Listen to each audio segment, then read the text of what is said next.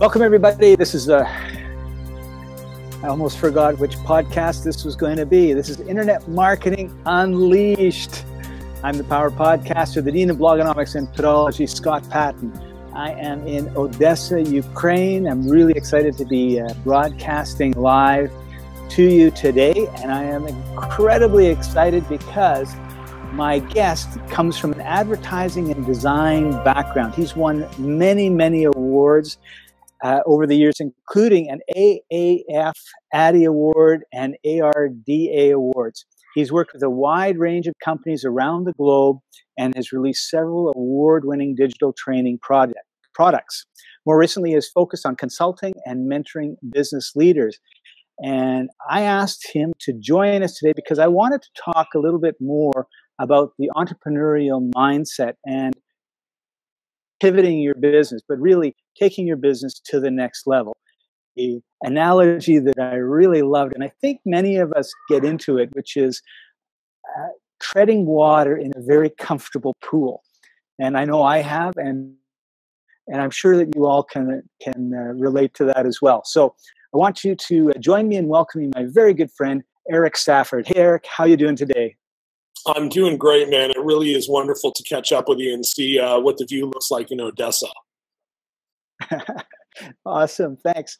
So, uh, before we get started, I was thinking about our, our chat today, and you know, oftentimes uh, there's there's all these canned questions and everything else, and there's never anything really interesting or uh, unusual. So, I was thinking about that as I was walking back here to, today to, to do this.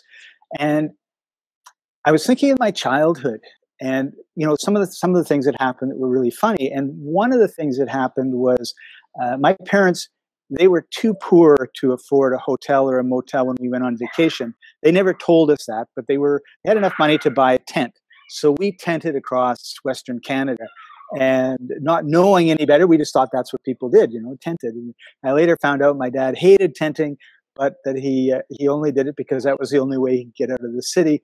Couldn't afford a motel.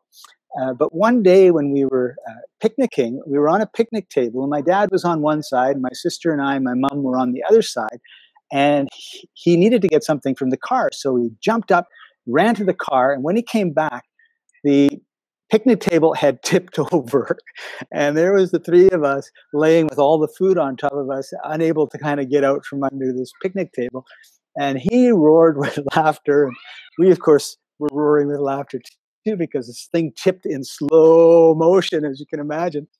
And uh, I don't know why that just I haven't thought of that memory in probably decades, but it just sort of popped up.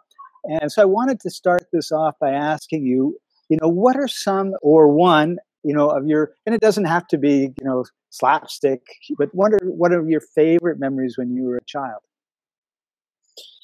Wow, man, I, I love that story. You know, the, the thing that that story, the thing that that story really brings to me in a powerful way, Scott, is, is, you know, when I was growing up, my parents divorced when I was quite young, right? And my father had a upper middle income job and he really lived quite comfortably. Uh, and my mother really struggled. She didn't uh, have as much money. She didn't have as much stability. Um, you know, she sort of worked different jobs as she had to to to make things work. Um, but what is really interesting, what I find is that you know when we would travel with my dad, uh, you know he would he would work his tail off for the entire year so that we could go somewhere for two weeks over Christmas, and we would fly nice airplanes and we would stay in nice Marriotts and we would go all throughout the Caribbean and we would eat burgers and do all this incredible stuff, right? And when my mom would travel with us, it was sort of like you had explained, right? It was uh, we weren't staying in hotels with hallways; we were staying in motels with parking lots in front, right? Um, like the locks on the outside, you better have a gun on the inside type type of place. um, um, but you know what I find interesting when I look back on that now, it's been several years, and I, I hadn't thought about it until you told that story. Is that one wasn't more fun or more enjoyable or more expansive than the other. My memories of traveling with my father with money and doing, you know, yacht trips and fishing trips and charters and going to the Caribbean and this and that are just as strong as my memories with my mom of going, you know, beneath the university to where she had found a glass blowing studio and where people would, you know, show us glass blowing for three hours if we if my mom brought them lunch and ten bucks, right? Um, and so, you know, that's a very powerful lesson, and I think it's influenced my life uh, more recently in the last couple years when I just sort of realized I was working in a business that I didn't enjoy, and it was bringing in plenty of income, but I just wasn't happy, and um, and so I think there's there's a good lesson there for the fact that um, money, I guess, really isn't everything, right? And I know that's a little cliche, maybe, but I found that to be very true in my life. Yeah, it's uh, it's an interesting dilemma because there are many people that make very very good money and have no time or have such stress that they really can't enjoy it or they can enjoy it a little bit, but they have so much stress that they're probably not going to enjoy it for long because of high blood pressure, uh, obesity, or heart attacks coming up. And uh, to be able to find that way of, of living a life that you want, I guess it's, you know, do you do you live or do you live to work? And when you live to work, you have a real problem because uh, you have no relationships, right?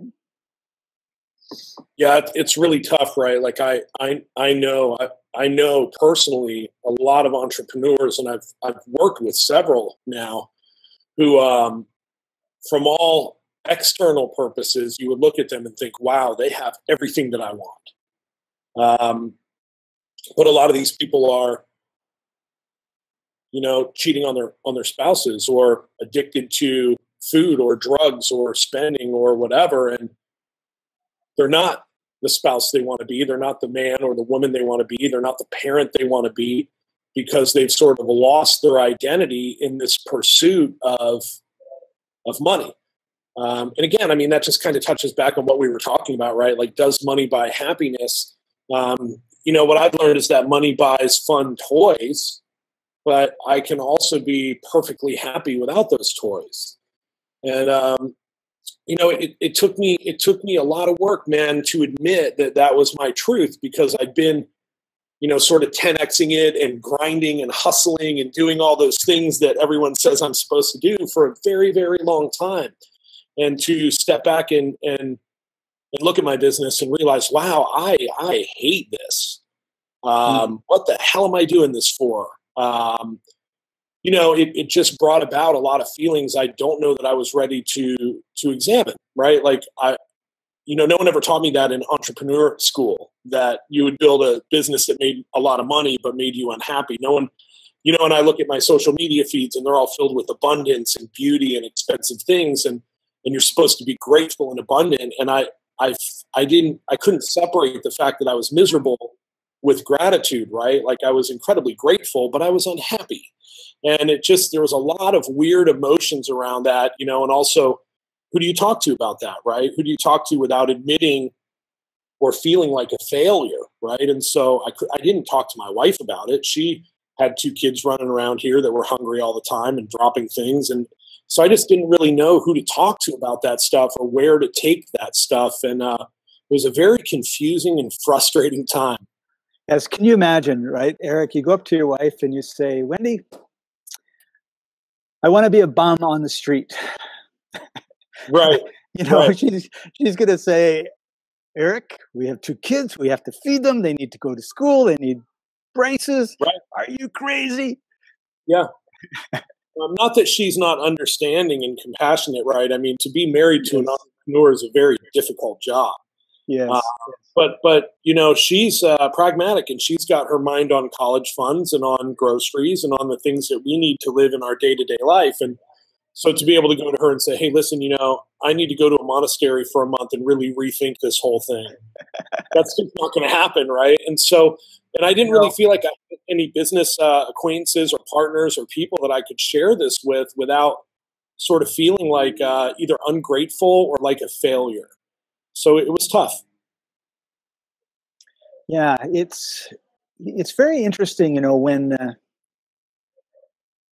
we decide to make a change because everybody around us is very used to us the way we are, And if there's going to be this big change, then all of a sudden, like, I don't know who this person's going to be when they're no longer doing all of those things. And uh, I had an interesting situation in my family. My nephew was a very, very good uh, soccer player. And in Canada, that's incredibly unusual uh, to the point where he actually was the main goalkeeper for the first divisions, uh, first the Scottish first divisions, 18, 17, and 18 year old club.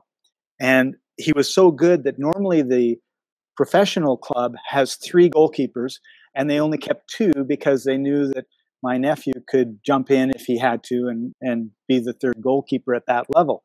And so he did this for two years. He was living in Dundee, Scotland. And after the third year, he said to his dad, I want to come home. Like, I've seen this lifestyle. I'm lonely. I don't like it. And of course, I don't know what his dad said to him or his mom said to him or his grandma said to him, but his uncle said to him, Are you nuts? you know, you years you're gonna have a multi-million dollar contract. Like play till you're 24, take save your five million dollars and you you're on easy street, right?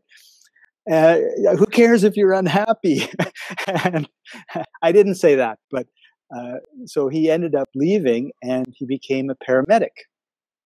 And so his uncle, in his uncle's great wisdom, said to him, You know, you really don't have the option anymore of complaining. Like if you have a couple kids and you're living in a small place and you're not happy because you don't have any money, life when you decided to come home, be clear on what you've sacrificed and what you want.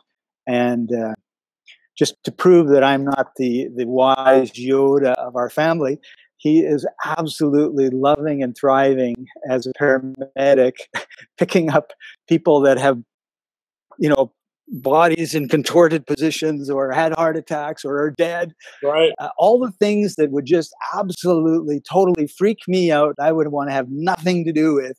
He's doing it on a daily basis and as happy as a pig in shit. There's no other way for us old farm boys to call it. And, yeah. Uh, you know, and that's that's I'm really so happy for him. And uh, that's fantastic. Yeah, you, you know, I, I, had I had someone years ago share with me this concept called ikigai, which is roughly translated. It's a Japanese phrase, and it means your reason for being. Right, um, I K I G A I, your reason for being, and and um, you know this has become sort of a big piece of my of my mentoring and consulting program because what I found in my life is that when you can communicate with people that you found that, whether it's uh, professionally in a business environment with clients or whether it's personally, um, you just become very centered and very calm and very attractive um, to uh, you know you become a voice of reason and a voice of bliss and someone that people look to for guidance because you're so clearly operating scott in your comfort zone in that sweet spot right in the middle of this ikigai um, this reason for being right? And the japanese believe that uh, often this requires a very long search searching process right to find what this sweet spot is but essentially it's when you're in the middle of um, this sort of flux between that which you are good at, that which you love to do, that which you can get paid for, and that which the world needs.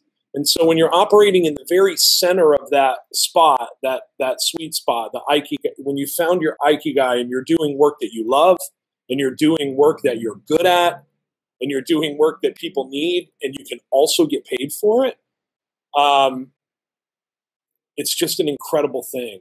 And and that's part of the reason why I was so excited to connect with you because whether you know it or not, that feeling comes across in your communications. It comes across in your marketing and even when you're just being yourself on on Facebook or whatever because it feels it feels to me in that spot you seem to be doing what you love, you seem to be doing something that the world needs.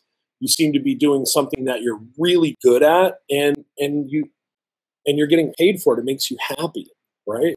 Um, and, and uh, so I guess what I'm saying in a long sort of roundabout way is that for any of the business owners or entrepreneurs that are listening to this, you may want to examine those four pieces, right? And it seems like your nephew has found that spot, right? And if he's making the amount of money that he yep. needs to make to be happy, then then that's just incredible. That's wonderful. That's amazing. And and and if you look at those four spots and something feels out of alignment in your life and you're not getting quite where you want to get, I'm going to guess that one of those pieces or more are out of alignment, right? And, and I know that you've uh, worked with a lot of entrepreneurs who are in different verticals, different businesses, and I know a lot of extraordinarily talented uh, natural health practitioners and yogis and artists who are doing what they love and they're doing something that the world needs but they're not quite figuring out how to get paid for it yet. And so that's where they need to focus their attention right? Yeah, or you come, across, come across yeah you come across people in the world who are doing stuff that the world needs and stuff that they're good at but they're maybe a little unethical.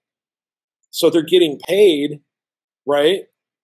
But one of the pieces is not working out. Maybe they don't love it. They're just in it for the money, right? And it's always apparent when you come across that. Yeah, it really is. And and I think you make some great points there, Erik. And it's also something that changes over time. What you may love doing today, like I hardly write any copy. And I used to write a lot of copy, a long sales copy. And I don't know why it changed. It just changed. I moved on to doing other things. And I think you need to be open to the growth that comes and just says, you know what, this was really good for me 10 years ago. This was really good for me seven years ago. This was really good for me four years ago. And now I'm, I'm doing something different today. And it's all part of this growth. And it's interesting because I wrote uh, the skills that I learned writing copy have been so valuable to me with uh, with the Udemy courses that I put out, with the video courses that I put out, and in particular when I'm working with or training with other instructors. And I, I recall a workshop that I was at, and one of the one of the students said, "Well, you know, my course is going to be on this. Like, what should I call it?" And I just all this copy came just spewing out of my mouth, right? and I didn't remember it, and nobody else listening remembered it. Just we all knew it was that was awesome. So from that, then on, they put a recorder on. Every time I opened my mouth, they made sure we recorded it so it wouldn't get lost.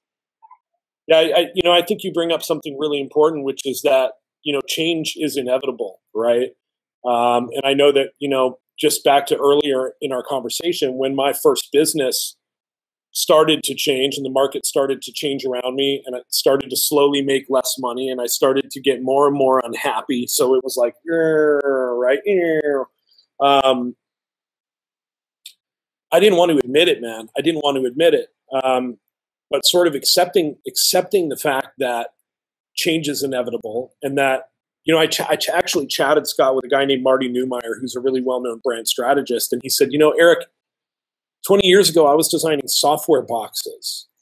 He's like, are you even old enough to know what those are? Do you remember when there was stores like CompUSA and every piece of software you bought came in a big box? He said, I designed all those. And then slowly over time, those stores all shut. And then slowly over time, all the software went online and became downloadable because the speed of the internet increased and he said, if I hadn't have pivoted, we would have starved to death. And um, you know, you look at some of the big disruptive companies right now, like Uber and Airbnb, and um, the companies that are getting left in the dust. You know, traditional taxi companies, um, you know, hotel chains. It's because they're not they're not willing to pivot. They're not willing to admit that change is happening. Right. And um, and so you know, this has given me as well. I know that this is maybe a little off topic, but this has given me a, a much broader and deeper gratitude for my relationship with my wife because we've been together for you know 19 almost 20 years now and it, it's entirely possible and probably likely that most people who have been together that long you change apart rather than together right and wendy and i have somehow luckily changed together um, because we all change. We all change. And so I think that when I look at my relationship framed like that, I'm like, wow, this is remarkable. That really is. And congratulations, Erik. My marriage lasted 12 years and it ended over 20 years ago. So uh, my hat's off to you for, for uh, well, growing together. That's amazing. I, I don't know if it felt bad in the moment when that happened because I know at that point you had younger kids. And so I'm guessing maybe it was a little painful, right? But when you look at it from the framework of understanding that we all change and sometimes people just change in different directions, and that's totally natural. That doesn't mean that anyone failed, right? And that's sort of what I had to learn to apply to my business. That's a really good point because it did feel very much to me like a failure. Like it was the biggest failure of my life, to be quite honest. And it was also an incredibly um, uncomfortable, vicious, mean divorce uh, on the other person's part. you know, and uh, it had to be uh, so it was not only was it a big failure, it was an incredibly uh, painful, ugly, painful, ugly experience. And the, you know, and so one one day, I don't know, a couple years after the the divorce went through, I was with my dad. And, and, you know how sometimes you're with people that you know they know you really really well and you you almost forget that they're you're just sort of talking out loud and they're listening?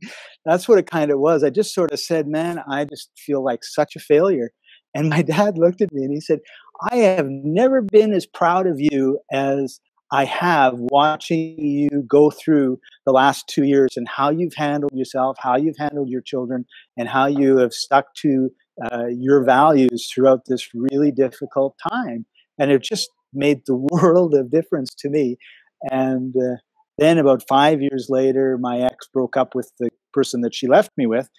And uh, about a year after that breakup, she and I were talking, and she said, You know, uh, I have a whole new appreciation for you that I didn't have when we broke up, and I'm really sorry that uh, it was, you know, as as hard as it was. I I didn't realize, you know, what I was. Blah blah blah. It doesn't matter. She she kind of came to a realization that the way she was perceiving the situation wasn't, in fact, the way the situation was, and uh, so the whole thing kind of gelled into, you know, a dark night of the soul into a beautiful dawn, if I can put it that way. That's awesome, man. That's really powerful. Yeah, I mean that that sort of is what has happened with my business, um, and sometimes it takes time, and and it, it and it always takes a willingness to create some space and step back and look at it from a different framework of that the one that you're currently in, right? Absolutely. So, Erik, tell us a little bit about uh, what you do for those that don't know, which is almost so, everybody uh, listening. Yeah, no problem. So we have a company called Stafford Marketing. We work with clients, and primarily what we do is we work with clients to get clear on some of the stuff that we've been talking about. Um, we work through some value stuff. We work through some mindset stuff. Uh, we help our clients craft uh, signature systems. You know, if they want to create um, some sort of a product or course that they can sell either online or offline. And we, we really just work with people to help them tell their best and most powerful message in as clear and concise of a way as possible. And so that starts by really understanding uh, your Ikigai and why it's important to you and why it works for you, and then figuring out the pieces of that that you can communicate with your with your best potential audience, so that you can go and kick a dent in the world. Beautiful. I love that. It sounds amazing. So, when you're working with different entrepreneurs, are is there any um, sort of similar issues or problems that you see them or commonalities that you see them struggling with?